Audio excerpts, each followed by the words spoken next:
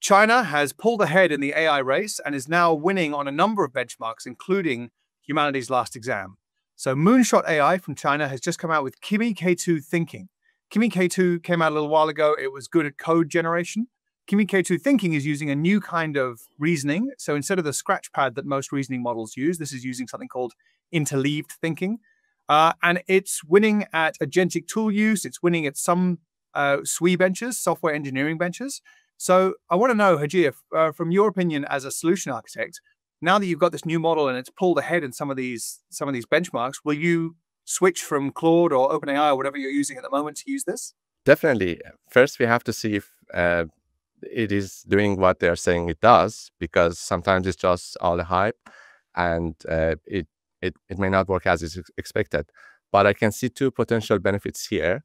One is the cost. If you can run it locally on your machine, and uh, there's there's going to be no cost for devs, and sometimes dev have to, devs have to pay uh, for their look uh, their LLM, and we don't want to spend too much.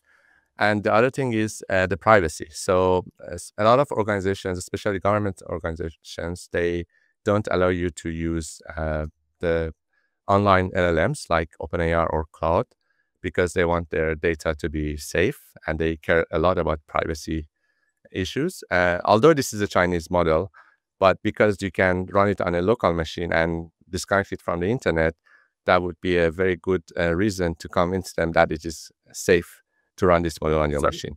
But again, we have to see if it if it stands under a claim that it is a very good. And model. so this works because it's open source and open weights, which means you can download the model and, and run it on Ollama or whatever, spin it up yourself. Exactly. It is a 400 gigabyte, 450 gigabyte model. So if your machine is a beast, then yes, you can do it on your local machine or uh, get a very heavy server and run it in your premises.